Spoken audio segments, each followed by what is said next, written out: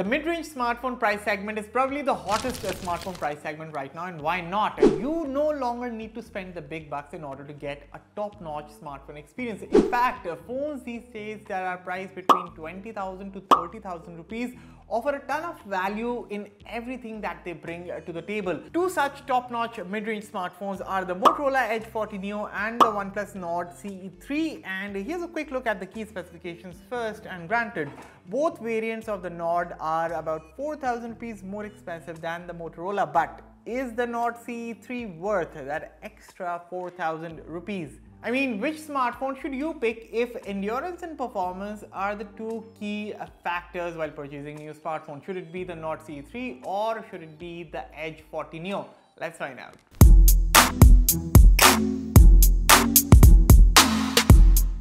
Everyone, I'm Ani of a Fiiber by today and welcome to the battery drain test comparison between the Motorola Edge 40 Neo versus uh, the OnePlus Nord C3. But of course, before we get on with the rest of the video, consider hitting that red subscribe button for detailed tech videos and also turn on the bell so that you don't miss any of our latest updates.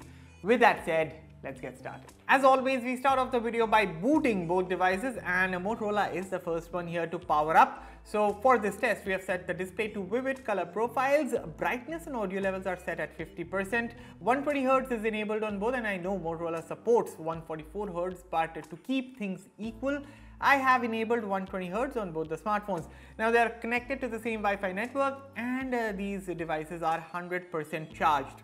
Starting with the, the 2 hours of YouTube video playback and undoubtedly both phones here have top-notch AMOLED screens in the mid-range price segment. All the features that you would expect uh, such as a high refresh rate, 10-bit colors, HDR10 playback, everything is here. However, there's a bit of difference in how they look and how they are tuned. Now, honestly, outdoors by some margin, the Edge 40 Neo does have the brighter panel, but let me also tell you, Indoors, both phones are pretty apt while using these screens with adaptive brightness on.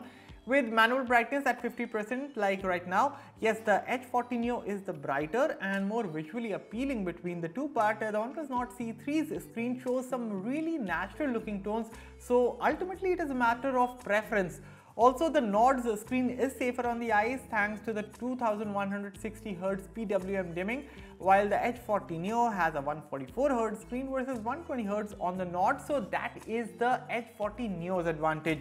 According to me, practically if you ask me, the Nord C3 screen makes more sense as it is safer, exhibits natural tones and 120Hz refresh rate uh, that depletes less battery than 144Hz. So which phone's display do you think so is the better one here? Let me know all your thoughts in the comments below. As of right now, 2 hours of YouTube video playback is done and the Nord C3 is in the lead with a good enough margin. The Nord C3 is left with 92% battery while the Edge 40 Neo is trailing behind with 86% battery left. Okay, on to the video recording round and while the phones uh, record the 1080p videos, here's a quick look at the camera specifications of both devices.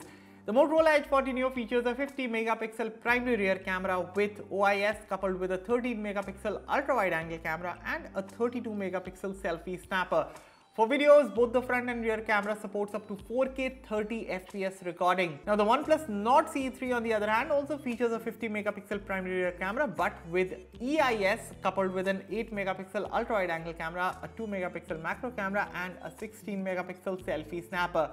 For videos, the Nord C3 can do up to 4K 60 FPS videos from the rear, but the front video recording is restricted to 1080p 30 FPS. Now here are some of the comparison photos of both the Edge 40 Neo and the Nord C3 on your screens. And now to know in depth about the camera performance of both phones, be sure to check out the individual reviews. But which of these photo samples do you feel are better? Which phone did a better job? Let me know in the comments. For now, we are done with the 1080p video recording round and the Nord C3 is still in the lead. The Motorola did manage to close the gap somewhat. So the Nord C3 is now left with a 71% battery while uh, the Motorola Edge 40 Neo is now left with a 67% battery. Okay, it is now time for benchmarks and we start with Geekbench 6 but first the specifications. The Motorola Edge 40 Neo is powered by the 6 nanometer Dimensity 7030 chipset with up to 12 GB RAM and up to 256 GB storage. The Nord C3 on the other hand is powered by the Snapdragon 782G chip which is an overclocked Snapdragon 778G chipset. This phone also features up to 12GB RAM coupled with up to 256GB faster UFS 3.1 storage. So, okay, I have seen such kind of Geekbench 6 numbers from the Dimensity 7030 chip, but after so many battery tests, I still can't digest the fact that these are the kind of scores the Nord C3 keeps getting because in turn, these scores are nowhere near the phone's real world performance. And similarly in Antutu as well, pretty average score from the Snapdragon 782G chip here. But as I was saying, in the real world, the performance of the Nord C3 has been very good and nothing like how the scores suggest. In the 3D Mark stress test, both phones performed pretty decently with an average loop score of 2500 and 2800 respectively with a superb stability score of 99%. Of course, these are not gaming phones, but they do suffice for their prices. And uh, finally, in the CPU throttle test as well, again, decent performance. Honestly speaking, I was surely expecting more here from the OnePlus Nord C3 in terms of benchmark scores, but benchmark numbers aren't the full story always. I will explain in a bit. So here's a breakdown of the benchmarks on your screens right now. You can pause and take a look. Okay, before we head on to the gaming round, right now 4 hours have gone into the test and uh, the Nord C3 is still in the lead and the gap has again widened. The Nord C3 is left with 53% battery while the Motorola Edge 40 is now left with a 46% battery. So as average the numbers were of uh, the Nord C3 in the benchmarks round, the actual real world performance of the Nord and the Snapdragon 782G chipset is pretty good. Of course, both of these phones are not purely gaming phones as I mentioned earlier as well. But having said that, if you're somewhat of a casual gamer, you can rest assured both these phones will be able to deliver that nice and smooth gaming performance. Yes, somewhat of those stutters and frame drops are noticeable here and there, more so in the Edge 40 Neo but overall for their prices both phones are pretty much able to handle the most demanding games out there. Also note in between the two over long sessions of gaming it is the OnePlus Nord C3 that has the tendency to better manage the thermals Okay, we are done with an hour of gaming also and 5 hours have gone in total and the Nord C3 is still in the lead with a 7% gap. Uh, the Nord C3 is left with a 35% battery while the Motorola Edge 40 Neo is now left with a 28% battery. Okay, social media time and so for an hour from here I will be playing a bunch of reels on both phones but yes, without keeping you waiting for the final minute, fast forwarding to the 6 hours mark and to no surprise actually the OnePlus Nord C3 finishes with a 21% battery left while the Motorola Edge 40 Neo finishes with 12% battery left.